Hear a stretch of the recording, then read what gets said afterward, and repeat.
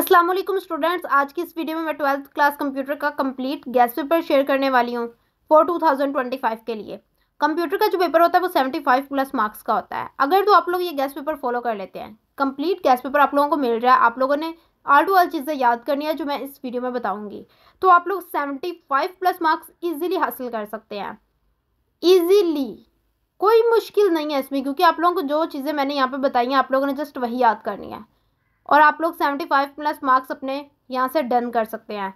और बात आती है कि ये गैस पेपर कैसे बनाया गया तो past papers plus additional questions MCQs short and long plus exercises of all chapters and then topics आप लोगों के बुक्स के अंदर जितने भी टॉपिक्स हैं, उनसे रिलेटेड शॉर्ट लॉन्ग और एम ये कंप्लीट जो गैस पेपर है, वो इन चार चीज़ों पर डिपेंड करता है। और मेन बात ये है कि आप लोगों का गैस पेपर जो है ना, वो एग्जामिनर्स की इंस्ट्रक्शंस और उसके मुताबिक आप लोगों को इसके अंदर क्वेश्चंस प्रोवाइड किए गए हैं जो कि इम्पोर्टेंट थे और वही आप लोगों को इसमें बताए गए हैं।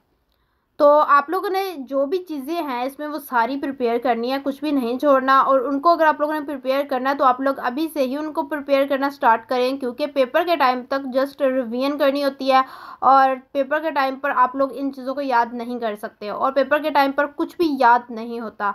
तो आप लोगों ने इनको अभी से ही प्रिपेयर करना है। सो गैस पेपर पहले शो करवाने से पहले मैं आप लोगों को पेयरिंग स्कीम की तरफ़ ले चलती हूँ, जो मैंने आप लोगों को ट्वेल्थ क्लास की पेयरिंग स्कीम बताई थी कंप्यूटर की। थोड़ा सा इसका जायज़ा ले लेते हैं।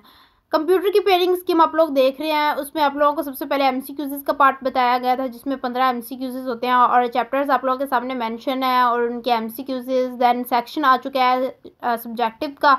उसमें भी आप लोगों को question number two question number three ये शॉर्ट क्वेश्चन थे दैन क्वेश्चन नंबर फोर है, ये भी शॉर्ट क्वेश्चन हैं और आप लोगों को यहाँ पे सिक्स सिक्स अटैम्प्ट करने होते हैं और बारह बारह नंबर होते हैं। यहाँ पर आप लोगों को question number five question number six इसमें से भी कोई एक क्वेश्चन अटैम्प्ट करना होता है। और इसके आठ मार्क्स होते हैं। देन नेक्स्ट हम लोग चलते हैं क्वेश्चन नंबर सेवन की तरफ़। Question number seven and question number eight question number seven में थ्योरी करनी होती है क्वेश्चन नंबर एट में प्रोग्राम करना होता है क्वेश्चन नंबर नाइन में भी प्रोग्राम है और इनमें तीन क्वेश्चंस हैं और आप लोगों को दो यहाँ से करने होते हैं और इनके सोलह मार्क्स होते हैं। हम लोगों ने देख लिया पेयरिंग स्कीम आप लोगों को पता चल चुकी है, आप लोगों को दोबारा से पेयरिंग स्कीम आप लोगों को रिवाइज हो चुकी है, अगर आप लोगों ने देखी हुई है। तो अगर नहीं देखी तो डिटेल में वीडियो है, आप लोग डिटेल में इसको देख सकते हैं। और हम चलते हैं अपने सीधा गैस की तरफ़ और देखते हैं हम लोगों ने वहाँ पर इन पेयरिंग स्कीम के मुताबिक, इन चैप्टर्स के मुताबिक जो क्वेश्चंस अरेंज किए हैं एम सी का पार्ट अलग होगा और लॉन्ग का पार्ट अलग होगा और शॉर्ट का पार्ट अलग होगा। और प्रोग्राम प्रोग्राम की बात की जाए तो शॉर्ट में जो प्रोग्राम इंपॉर्टेंट है वो भी प्रोवाइड किए गए हैं एंड लॉन्ग के लिए भी प्रोवाइड किए गए हैं तो चलते हैं गैस की तरफ़। और गैस की तरफ़ हम लोग आ चुके हैं? यहाँ पर सबसे पहले एम का पार्ट है। सबसे पहले हम लोगों को एम देखने हैं। ऊपर आप लोगों को वो बबल्स नज़र आ रही है जो पेपर में हमें फिल करनी होती हैं। तो बेसिकली ये ऊपर इसलिए मैं प्रोवाइड करती हूँ ताकि आप लोगों को ये अंदाज़ा हो जाए और ये याद हो कि आप लोगों ने इनको बबल्स के अंदर फिल करना होता है। बेसिकली कुछ स्टूडेंट्स होते हैं जो इसको पेपर के ऊपर ही बबल्स फिल कर लेते हैं या टिक लगा देते हैं। तो आप लोग ने पेपर के ऊपर टिक नहीं लगाने होते। अगर आप लोग लगा रहे हैं तो पेपर्स के ऊपर ही बबल के साथ फिल कर लें और साइड पर जो लास्ट के पेपर के लास्ट पेज पे बबल्स होती हैं वहाँ पर आप लोगों को बबल्स फिल करनी होती हैं। और बबल जो फिल करनी होती है, वो भी मैंने बताया हुआ है कि आप लोगों ने ड्राई पेन से करना होता है। लिक्विड पेन से नहीं करना होता लिक्विड पेन में इंक पेन आता है, या तो पॉइंटर्स आते हैं मार्कर्स आते हैं, और जो ड्राई पेन होता है, उसमें ब्लू पेन आता है। तो आप लोगों ने ब्लू पेन से आप लोगों ने इसको फिल करना है, क्योंकि वो ड्राइंग होती है तो वो फैलती नहीं है। और आप लोगों को पता है कि बबल जो हम लोगों को फिल करनी होती है, उसका जो साइड पे बबल के बाहर हम लोगों का नहीं आना चाहिए। बबल के अंदर ही हम लोगों को फिल करना चाहिए पेन के साथ। बबल के बाहर हम लोगों का अगर निशान आ जाता है तो हम लोगों का वो कंसीडर नहीं होता। तो ये कंप्यूटराइज चेक होते हैं, जिसकी वजह से आप लोगों का ये गलत हो सकता है। ये जो होते हैं टीचर्स वगैरह चेक नहीं करते कि आप लोग समझ रहे हैं कि हम लोगों का जो थोड़ा सा भी बाहर आ गया तो टीचर जो होते हैं वो कर देते होते हैं। बट कंप्यूटर ऐसा नहीं करता। अगर वो थोड़ा सा भी बाहर आता है जो कि लगता है कि वो बबल से बाहर है तो आप लोगों का वो गलत कंसीडर होगा। So M C Qs solve करते हुए आप लोगों ने इन चीज़ों का ख़ास ख्याल रखना है। अब यहाँ पर जितने भी एम सी क्यूज़ हैं उनमें जो है ना आ, कुछ एम सी क्यूज़ यहाँ पर जो है ना वो गलत भी होंगे। आप लोगों को वहाँ पे मैंने ना ठीक करके भी प्रोवाइड किया। आप लोग देखेंगे कि कुछ एम सी लगाए गए थे फिर उनको बाद में रिमूव करके उनके करेक्ट आंसर्स लगाए गए थे। तो आप लोगों ने सबसे पहले ये करना है, यहाँ पे ये देखें यहाँ पे ये गलत हो गए थे और वहाँ पर दोबारा से उनको देख कर लगाया गया क्योंकि हर एक एम सी का जो आंसर होता है वो करेक्ट बताना होता है और इतने ज़्यादा एम सी होते हैं कि उनमें ना मिक्सिंग हो जाती है उनके आंसर्स लगाने में। तो आप लोगों ने पहले तो ये करना है कि पहले ख़ुद से इनके आंसर्स इमेजिन करने हैं कि आप लोगों को लग रहा है कि ये इसका आंसर हो सकता है तो बाद में आपने इसका आंसर देखना है ताकि आप लोगों को ख़ुद से ही आइडिया हो कि आप लोगों की कितनी तैयारी है। और आप लोगों ने जो यहाँ पे मैंने एम सी बताए हैं, आप लोगों ने बस यही प्रिपेयर करने हैं, कहीं और से प्रिपेयर करने की ज़रूरत नहीं है। और आप लोगों को यहीं पर सब एम मिल रहे हैं। आप लोगों ने अपने एक्सरसाइज जो बुक्स के अंदर एक्सरसाइज है ना उनके एम को भी देख लेना है। और यहाँ पर भी प्रोवाइड होंगे वो आप लोग देखेंगे। जब आप वहाँ से करेंगे तो आप लोगों को यहाँ पर भी वो नज़र आएँगे। सो so, इजीली आप लोग यहाँ पर उनको कर सकेंगे। तो यहाँ पर जितने भी एम प्रोवाइड किए गए हैं वो प्रोग्राम से रिलेटेड भी हैं कुछ कुछ थ्योरी से रिलेटेड भी हैं। अच्छा यहाँ पर मैं ना टिक से लगा रही हूँ ताकि जो है ना क्लियरली समझ आ जाए, अगर मैं यहाँ पर बबल लगाने लग जाऊँ ना तो बीच में मिक्सिंग हो जाती है। वो जो यहाँ पर आप लोगों को कंफर्म पता नहीं चलेगा कि किसका क्या ऑप्शन है, इसलिए मैं यहाँ पर टिक लगा कर आप लोगों को बता रही हूँ, लेकिन पेपर में आप लोगों ने बिल्कुल ऐसा नहीं करना। आप लोगों ने वहाँ पर बबल से ही फिल करना है अपना, जो भी आंसर होगा।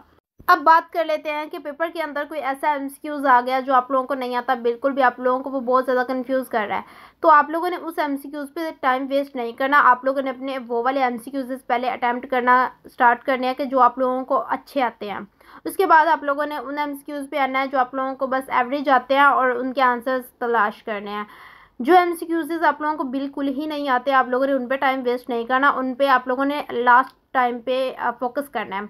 और लास्ट टाइम पे जब आप लोगों ने पहले सॉल्व कर लिए होंगे तो इजीली आप उन पर ध्यान लगा के, उनको इजीली रिमेंबर करके कि हम लोगों ने इसको किस तरह से करना है और आप लोग अपने माइंड को सेट करके कि आप लोगों के पास अब कोई मतलब कि एम नहीं रहा जस्ट यही है तो इस किस्म की कोई टेंशन नहीं होगी कि अभी और एम सी पड़े हैं तो आप लोग जस्ट उन पे ही फोकस कर सकेंगे। अगर आप लोग उन पे इजीली अच्छे तरीके से फोकस करेंगे तो आप लोग उनका आंसर्स भी तलाश कर सकते हैं।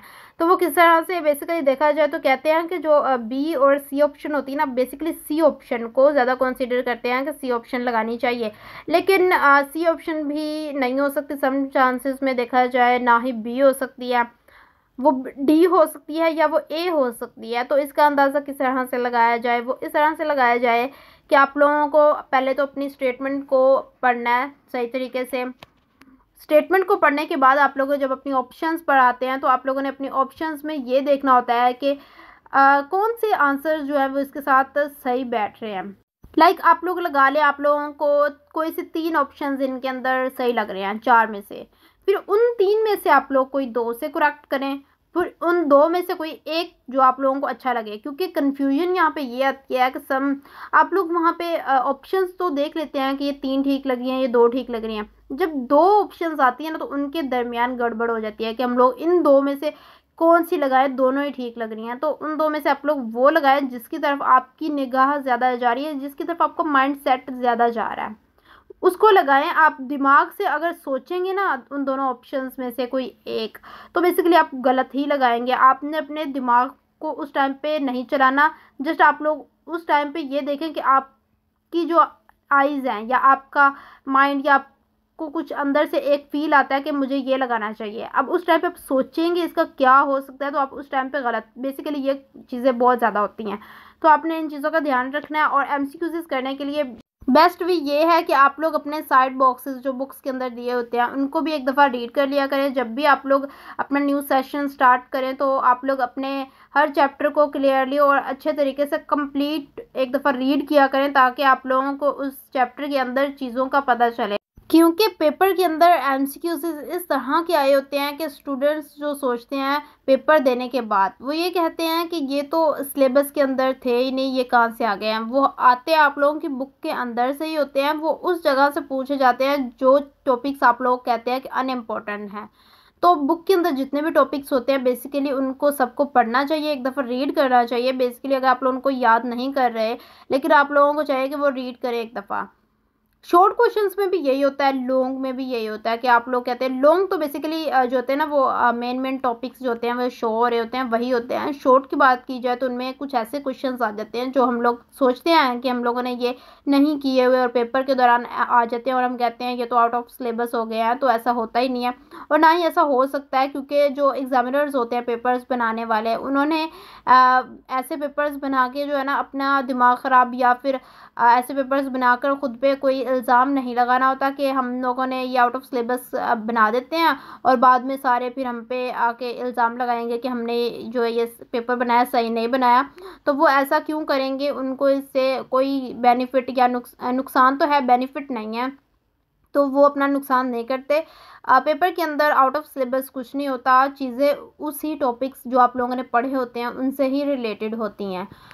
और बात की जाए यहाँ पर टू हंड्रेड जो है एम सी क्यूज़ कंप्लीट हो चुके हैं। मैंने यहाँ पर आप लोगों को three hundred M C Qs provide किए हुए हैं।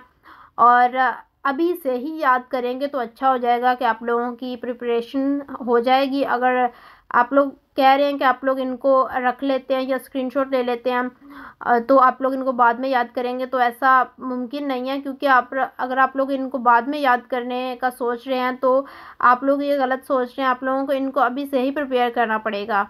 अगर अभी से ही प्रिपरेशन स्टार्ट करेंगे पेपर्स की तो बेसिकली आप लोग पेपर के टाइम तक इन सबको रिवीजन अच्छे से कर सकेंगे। और दिन में आप लोग अपना कोई भी सब्जेक्ट चूज़ किया करें और इसकी रिवीजन किया करें, आप लोगों ने जो पिछला पढ़ा होता है। दस मिनट, बीस मिनट या एक घंटा लगाकर आप लोग उनकी जो है रिवीजन किया करें। अब जो वीडियो यहाँ पर ये बहुत ज़्यादा लंबी हो रही थी, मैं चाहती तो यहाँ पर आप लोगों को कोई हल्का सा म्यूज़िक लगाकर और यहाँ पर आप लोगों को ये प्रोवाइड कर देती कि भाई ये वाला गैस पेपर है, आप लोगों ने इसको याद कर लेना है। और आप लोग जो है वो यहाँ पर इनके स्क्रीनशॉट लेके याद कर लेते। लेकिन मैंने कहा कि आप लोगों को पेपर से रिलेटेड इंपॉर्टेंट इंस्ट्रक्शंस देनी चाहिए, जो आप लोगों के लिए बहुत ज़्यादा इंपॉर्टेंट है और आप लोगों को इनके बारे में पता होना चाहिए। अगर आप लोग पेपर्स के अंदर बहुत ज़्यादा अच्छे ग्रेड्स हासिल करना चाहते हैं या आप लोग चाहते हैं कि आप एक टॉपर बने तो आप लोगों को इंस्ट्रक्शंस के बारे में पता होना चाहिए। आप लोगों को एग्जामिनर के माइंड सेट के बारे में पता होना चाहिए। आप लोगों को इम्पोर्टेंट चीज़ें सिलेक्ट करने के बारे में पता होना चाहिए कि हम लोगों को कौन सी चीज़ें करनी है और कौन सी चीज़ें पेपर के लिए इम्पोर्टेंट हैं। तो इन चीज़ों के बारे में आप लोगों को आइडिया होना चाहिए कि कहाँ से ये आती हैं, बुक के अंदर हम लोग क्या क्या प्रिपरेशन करें अनइम्पोर्टेंट चीज़ों को किस तरह से रिकॉल करें। ये सारी चीज़ें आप लोगों को पता होना चाहिए कि आप लोगों ने अनइम्पोर्टेंट चीज़ों को भी इम्पोर्टेंस देनी है, क्योंकि बुक के अंदर अब कोई भी चीज़ें ऐसी नहीं है जो अनइम्पोर्टेंट रह चुकी हैं, क्योंकि आप लोग पीछे देख चुके हैं कि आप लोगों को पेपर्स के अंदर वो चीज़ें देखने को मिली हैं जो आप लोगों को लगता था अनइम्पोर्टेंट है। समटाइम्स ऐसा होता है कि आप लोग जो है ना, वो टॉपिक्स छोड़ देते हैं जो आप लोगों को लगता है कि ये पेपर में नहीं आएँगे, ये तो आने वाले हैं ही नहीं। और पेपर में जब बैठे होते हैं और वही क्वेश्चन जब आप लोगों को नज़र आते हैं ना तो दिल करता है कि क्या ही कर ले, क्योंकि वो हम क्यों छोड़ कर आए? हम लोगों को वो कर लेने चाहिए थे। ऐसा कुछ ना माइंड में आता है। बट आप लोग जो है ना, मैं इसीलिए आप लोगों को यहाँ पे ये कह रही हूँ कि आप लोगों ने जो है ना इम्पोर्टेंट टॉपिक्स हैं ना, उनको रीड ज़रूर करना है। उनको छोड़ना ही नहीं है कि इस लिहाज से छोड़ा जाए कि हम लोग जो है ना, इनको करेंगे तो टाइम वेस्ट होगा और यहाँ से कोई क्वेश्चन भी नहीं आ रहा। अगर देखा जाए तो ये वीडियो बहुत ज़्यादा लॉन्ग हो सकती थी। जहाँ पर लॉन्ग क्वेश्चंस एंड शॉर्ट आ रहे हैं ना, उनको मैंने बहुत जल्दी से आगे भगाया है। आप लोगों को वो नज़र आ रहे होंगे, आप लोग उनका स्क्रीनशॉट इजीली ले सकते हैं, ताकि ना वीडियो बहुत ज़्यादा लंबी हो जाती है और स्टूडेंट्स होते हैं वो इरिटेट हो जाते हैं बहुत ज़्यादा लंबी वीडियो देखने से। उनको इंस्ट्रक्शंस नहीं चाहिए होती, उनको चाहिए होता है सीधा मटेरियल जो उनको चाहिए पेपर के लिए, वो वही देखते हैं। तो थोड़ा सा ना चीज़ों को देखें और थोड़ा सा जो बताया गया, जो इंस्ट्रक्शंस बताई गई हैं, उनको भी फॉलो करें, क्योंकि ये आपके भले के लिए बताया गया, ना कि मेरा इसमें कोई भला नहीं है, आप लोगों का ही भला है, इसमें आप लोगों को मैंने इसलिए बताया ताकि आप लोग इन चीज़ों के बारे में इंफॉर्मेशन रखें और पेपर से रिलेटेड आप लोग कभी भी जो है ना, परेशान ना हों। कि स्टूडेंट्स के सप्ली वगैरह आ जाना और मार्क्स कम आ जाना, उनकी टेंशन्स लेना तो इनको छोड़ें और जो करेक्ट बातें होती हैं इंफॉर्मेशन से रिलेटेड उन पे फोकस करके पेपर्स को किया करें। इंफॉर्मेशन बहुत ज़्यादा मैटर करती है और अगर समटाइम्स कुछ नहीं भी आ रहा होता तो इन्फॉर्मेशन बहुत ज़्यादा काम कर जाती है। तो एम सी का पार्ट यहाँ पे कवर हो चुका है और हम आ चुके हैं अपने शॉर्ट क्वेश्चंस के सेक्शन की तरफ़। यहाँ पर मैं आप लोगों को सब्जेक्टिव टाइप अब डिस्कस करवाऊँगी शॉर्ट एंड लॉन्ग तो आप लोगों को यहाँ पे क्वेश्चंस शो हो रहे हैं जस्ट आप लोगों ने यहाँ पे जो है ना इनका स्क्रीनशॉट लेना है। मैं ना इनको जो है ना स्लोली स्लोली स्क्रॉल डाउन करती रहूँगी और आप लोग इनको नोट कर लें नोटबुक में निशान लगा लें या तो फिर आप लोग इनका स्क्रीनशॉट ले लें और देखा जाए तो जितने भी यहाँ पर क्वेश्चंस हैं, फ़िलहाल अभी तो थ्योरी से रिलेटेड ही आ रहे हैं। और इसके आगे आप लोगों को प्रोग्राम से रिलेटेड भी क्वेश्चंस होंगे और आप लोगों को जो प्रोग्राम से रिलेटेड क्वेश्चंस होते हैं, उनके रट्टे लगाए नहीं जाते। अगर उनको समझ के किया जाए ना तो आप लोग बेसिकली उसी से, उस क्वेश्चन से ही रिलेटेड कोई क्वेश्चन अगर स्टेटमेंट चेंज कर दी जाए या और उनके वेरिएबल्स चेंज कर दिया जाए तो बेसिकली आप लोग उनको ईजिली सॉल्व कर सकते हैं। ये हमारे जो है ना प्रोग्राम से रिलेटेड क्वेश्चन हैं और नीचे भी वही क्वेश्चन सब कुछ बीच में मिक्स जो है ना, वो पूछे गए हैं थ्योरी से रिलेटेड यहाँ पर मैं आप लोगों को एक स्कैप सीक्वेंस दिखाऊँगी। जस्ट उस पर मेरी एक वीडियो बनी हुई है। अगर आप लोगों को स्कैप सीक्वेंस के बारे में सीखना है तो आप लोग वो वीडियो देख सकते हैं। ये आप लोगों को यहाँ पे नज़र आ रहा है। इसमें मैंने एक ना डिटेल में वीडियो बनाई हुई है। इसमें आप लोगों को यहाँ पे डिफरेंट क्वेश्चंस भी नज़र आएँगे स्कैप सीक्वेंस से रिलेटेड तो अगर आप लोग वो वीडियो देख लेते हैं तो आप लोगों का जो है ना स्कैप सीक्वेंस से रिलेटेड कोई भी क्वेश्चन है वो ना कवर हो जाएगा वहाँ से, क्योंकि वहाँ पर मैंने इजी वे में आप लोगों को आउटपुट सारा कुछ वहाँ पे शो करवाया आउटपुट वहाँ पे शो हो रही होगी कैसे कैसे आप लोग इनको करते हैं। सो so बेसिकली देखा जाए तो मैं प्रोग्रामिंग से रिलेटेड भी वीडियोस वगैरह जो है ना अपलोड करूँगी। बेसिकली टाइम नहीं है तो मैं ना अभी आप लोगों को यहाँ पे गैस पेपर्स वगैरह जो है प्रोवाइड कर रही हूँ। प्रोग्रामिंग से रिलेटेड भी जो है ना वीडियोस वगैरह आप लोगों को मिलेंगे इस चैनल पर। बहुत ज़्यादा ईजी वे में समझाया जाता है। और ताकि ना अगले बंदे को समझ आ जाए और उसे अगर कोई चीज़ वहाँ पर नहीं भी समझ आए तो कमेंट सेक्शन में वो पूछ सकता है ताकि मैं उसको उस टाइम पे जवाब भी दे देती हूँ कि आपको जो है ये समझ नहीं आई तो मैं उस टाइम पे उसको, उसका आंसर भी दे दूँ कि यहाँ पर ये बताया गया। है तो यहाँ पर हमारे जो है ना वो शॉर्ट क्वेश्चन यहाँ पर कवर हो चुके हैं देन हमारा लॉन्ग क्वेश्चन का सेक्शन आ चुका है। इसमें आप लोगों को लॉन्ग क्वेश्चन यहाँ पे शो हो रहे हैं। सबसे पहले तो थ्योरी से रिलेटेड क्वेश्चन हैं। सबसे पहले मैं यहाँ पर आप लोगों को मेन टॉपिक्स बता दूँ डाटाबेस और फाइल्स से रिलेटेड और नॉर्मलाइजेशन से रिलेटेड इन, ये जो है ना इम्पोर्टेंट टॉपिक्स हैं। आप लोगों ने इनको नहीं छोड़ना और प्रोग्राम यहाँ पे जो हैं, जितने भी हैं, उनको करना है। और ई आर डायाग्राम्स और सी लैंग्वेज से रिलेटेड कोई भी क्वेश्चन यहाँ पर जितने भी क्वेश्चन हैं, वो प्रोवाइड किए गए हैं। आप लोगों ने वो देखने आप लोगों से कह सकते हैं कि स्टैरिक को इस वे में प्रिंट करवाएँ और वोवल्स के बारे में पूछ सकते हैं कि वोवल्स प्रिंट करवाएँ। बेसिकली इस तरह के ही क्वेश्चंस आते हैं। तो आप लोगों की अगर प्रैक्टिस होगी ना तो आप लोग इनको इजीली सॉल्व कर सकेंगे। और यहाँ पर जैसे कि ये बताया हुआ है कि इस पैटर्न में और इस पैटर्न में इसको शो करवाएँ स्टैरिक यहाँ पर आए हुए हैं। तो हम लोगों के यहाँ पे लॉन्ग क्वेश्चंस भी कवर हो चुके हैं। मैंने आप लोगों को यहाँ पे जो है सेकंड ईयर का कंप्लीट कंप्यूटर का गैस पेपर फॉर 2025 के लिए बता दिया है। अब आप लोगों पे डिपेंड करता है कि आप लोगों ने ये कब करना है और कितना करना है, कैसे करना है। मैं आप लोगों को यही करूँगी कि आप लोग इनको अभी से ही स्टार्ट करें, याद करना। अगर सारे नहीं कर रहे तो आप लोग थोड़े थोड़े पाँच पाँच, दस करके इनको एक एक दिन में याद करें और जस्ट इनको ही प्रिपेयर करें, तब आप लोगों को बुक से याद करने की फिर कोई ज़रूरत ही नहीं पड़ेगी। जस्ट आप लोग आंसर्स के लिए बुक की तरफ़ जा सकते हैं या गाइड्स की तरफ़ जा सकते हैं।